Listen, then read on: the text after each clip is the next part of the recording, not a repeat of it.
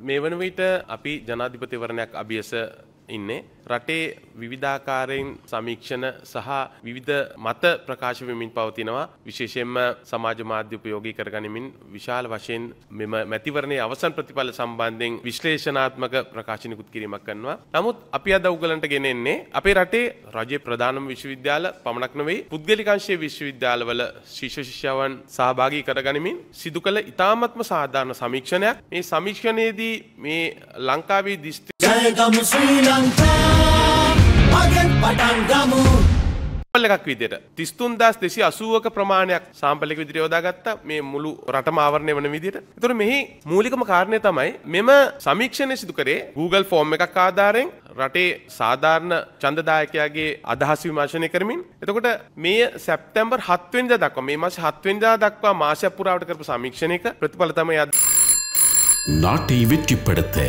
இப்பொழுதே அழைப்புடன் இணையுங்கள் ඔබට ගෙනෙන්නේ. ඒ අනුව මෙම සම්පූර්ණ සමීක්ෂණයේදී හෙළි වූ ආකාරය අනුව 33280ක් කියන ප්‍රමාණයේ සාම්පලෙන් මෙහි සාමාන්‍ය ආසන්න වශයෙන් 4.5ක ප්‍රමාණයක් නිශ්ශබ්ද ඡන්දදායකයන් වශයෙන් හඳුනාගත්තා. ඒ කියන්නේ තවමත් තීරණය කළ නැහැ කුමන අපේක්ෂකයකටද මේ ඡන්දය ප්‍රකාශ කරන්න කියලා. එතකොට 4.5ක වගේ ප්‍රමාණයක් එනවා. මේ 4.5ක ප්‍රමාණය අපි රටේ ජනගහනයට ආදේශ කළාට පස්සේ සාමාන්‍ය ලක්ෂ 6ක වගේ ප්‍රමාණයක් මේ වන විට සැප්තැම්බර් හතෙන් අවසන් වුණු මාසයේදී තීරණය කළ තිබුණේ නැහැ. හැබැයි මේ වන විට යම් ආකාරයකින් වෙනස් වීමක් වෙලා තියෙන පුළුවන්. එතකොට සැප්තැම්බර් 7 වෙද්දී මේ රටේ ඡන්දදායකයන්ගෙන් ලක්ෂ 6ක වගේ ප්‍රමාණයක් තීරණය කළ තිබුණේ නැහැ. ඔවුන් කාටද ඡන්දය දෙන්නේ කියලා. එතකොට සැප්තැම්බර් 7 ඉඳලා ගත්තොත් මේ වෙනකොට සාමාන්‍යයෙන් දවස් 10ක් 12ක් වගේ ගිහිල්ලා එතකොට මේ වෙනකොට සාමාන්‍යයෙන් එම ඡන්ද ප්‍රමාණය යම් තීරණයකට ඇවිල්ලා තියෙන්න පුළුවන්. එතකොට මෙහි සාමාන්‍යයෙන් ගත්තොත් මෙහි දිස්ත්‍රික්ක වශයෙන් වෙන වෙනමත් ආසන වශයෙන් වෙන වෙනමත් මෙම සමීක්ෂණය පැවැත්තුවා. එම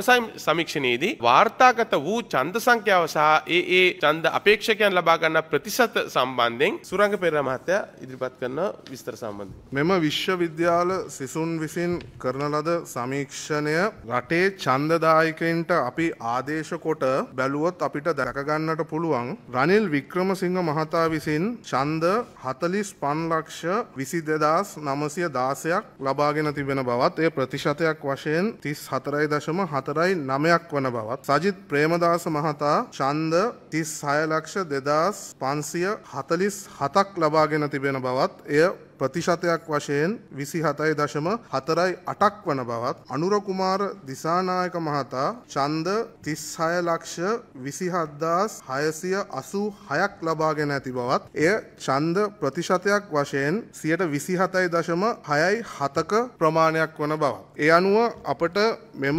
සමීක්ෂණයට භාජනය කරන ලද වාර්තාව ප්‍රකාරව පැහැදිලිවම හැඟී යන්නේ මෙම ජනාධිපතිවරණයේ අදදින ඉදිරියෙන්ම සිටින අපේක්ෂකයා වනුවේ රනිල් වික්‍රමසිංහ මහතා කියන එකයි. රනිල් වික්‍රමසිංහ මැතිතුමා දිස්ත්‍රික්ක 14ක් වැඩි ඡන්ද ලබා ගන්නවා. එම දිස්ත්‍රික්ක අතර කොළඹ, ගම්පහ, ගාල්ල, මාතර, බදුල්ල, මහනුවර, නුවරඑළිය, රත්නපුරය, පොළොන්නරුව, අනුරාධපුරය, යාපනය, ත්‍රිකුණාමලය, මඩකලපුව සහ දිගාමඩුල්ල.